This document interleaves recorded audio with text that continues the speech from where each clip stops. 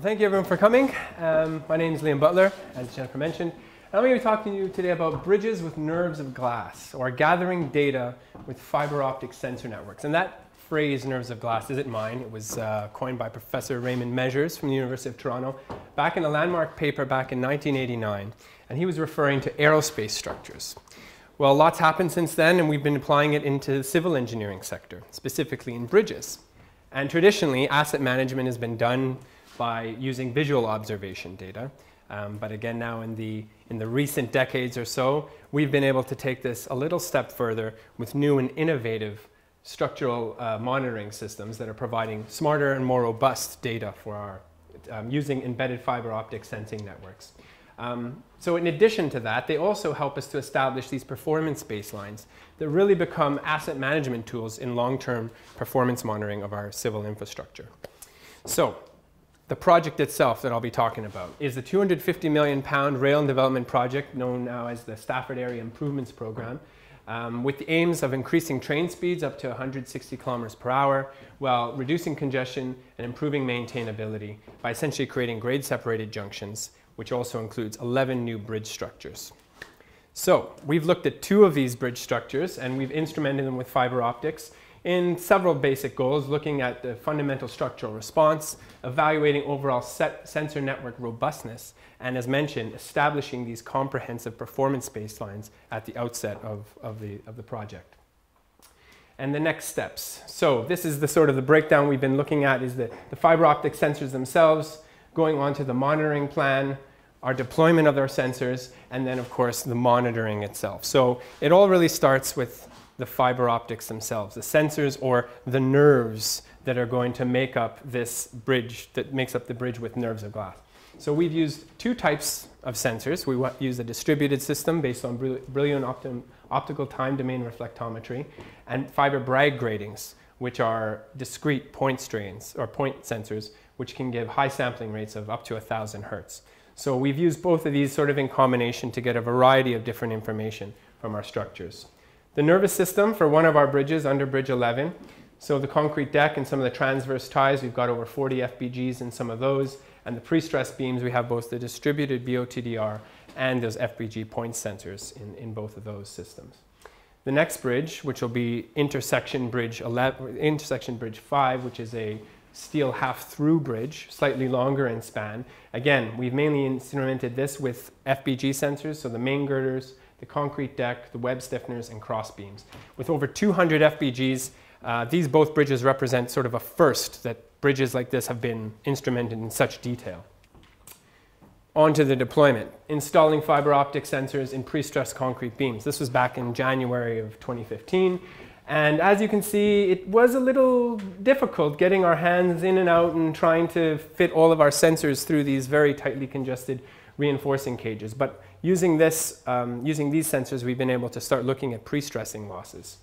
The next stage took us on to installing fiber optics right onto our structural steel girders, the top and bottom flanges. So this was just this past summer on a particularly nice sunny day, and we're using a structural epoxy here to, um, to in, in, install, our, uh, install our fiber Bragg grating sensors. But it wasn't without its challenges and some solutions we found along the way. So that was back in January in a precast yard. We, we found a lot of uh, in, interesting weather, uh, a lot of splicing, on-site splicing and prep on-site, a lot of handling of very fine, delicate cables, and uh, at the end also having to find a way to fit it all into some kind of box that we can access things in the future. So monitoring, as mentioned, uh, pre-stressing beams, we're really looking at time-dependent behavior. So from a design perspective, it's things like pre-stress losses over time. And so by instrumenting right from the beginning of a beam, we really have that load history right from, if you like, the birth of our beam, right up until it's up onto, onto the bridge. Next, we looked at monitoring construction staging in real time. So this was actually also in the summer, and we were, there's where our sort of um, fiber optics were, were positioned, and uh, this was sort of monitoring in real time the construction of the uh, concrete deck being poured, and so we can see how the different dead load is going to be affecting the bridge.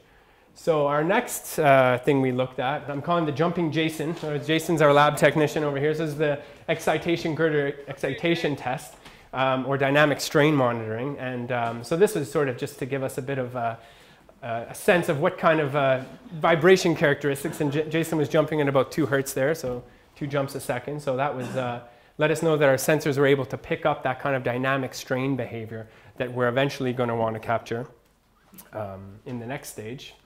The next goal is obviously these are railway structures. One is rail over rail, the other is going to be rail over stream, and so we're going to want real live rail loading eventually. And um, that, as it stands now on the project, is looking to be into the spring of next year. And so at that time, again, we'll be doing some periodic monitoring, going out, getting these things like the dynamic characteristics of our structure, and, um, and hopefully finding out a lot more about how rail loading is affecting these types of bridges as well with these, with these sensors. Well, it's more than just getting a bunch of numbers in and, and, and having a bunch of sensors on our bridge and over 400 uh, meters of, of distributed sensing cable, but it's really things like those pre-stress losses, those time-dependent losses we want to look at in our concrete elements. We want to look at things like the onset of composite action and composite behavior. Um, and yeah, as I mentioned, if we, let's see if this uh, will work. So again, yeah, looking ahead towards next summer.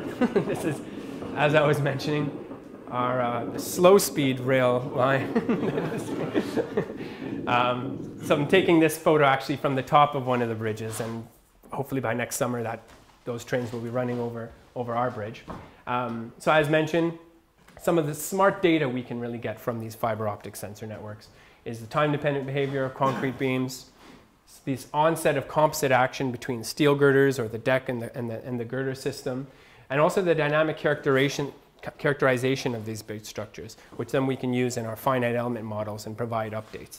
So this would all not be possible without our industry and academic partners, and as well as indeed they'll be probably the end users of a lot of the data we're going to be gathering. So um, our bridge asset owners, our designers of our bridge, our contractors, and as well as other monitoring teams and possibly other researchers who could also be um, hopefully benefit from, from what we've done so far with this project. So thank you very much.